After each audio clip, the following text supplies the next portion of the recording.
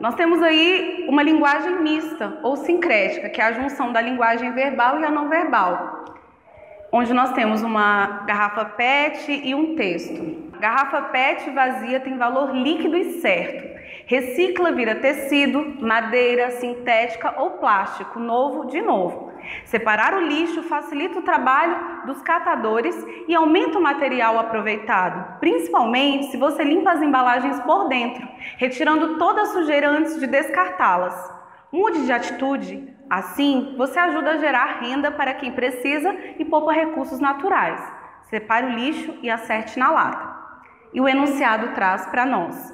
Nessa campanha, a principal estratégia para convencer o leitor a fazer a reciclagem do lixo é a utilização da linguagem não verbal como argumento para. Alternativa A: reaproveitamento do material. B: facilidade na separação do lixo. C: melhoria na condição do catador. D: preservação de recursos naturais. Ou E: geração de renda para o trabalhador. A alternativa adequada é reaproveitamento de material.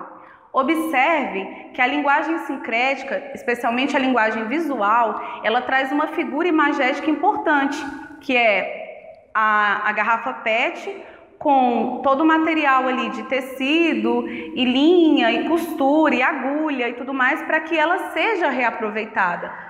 Os outros distratores eles vão em foco também, mas a, mais evidente é justamente a imagem por sobre o texto. Então, a alternativa adequada é a letra A.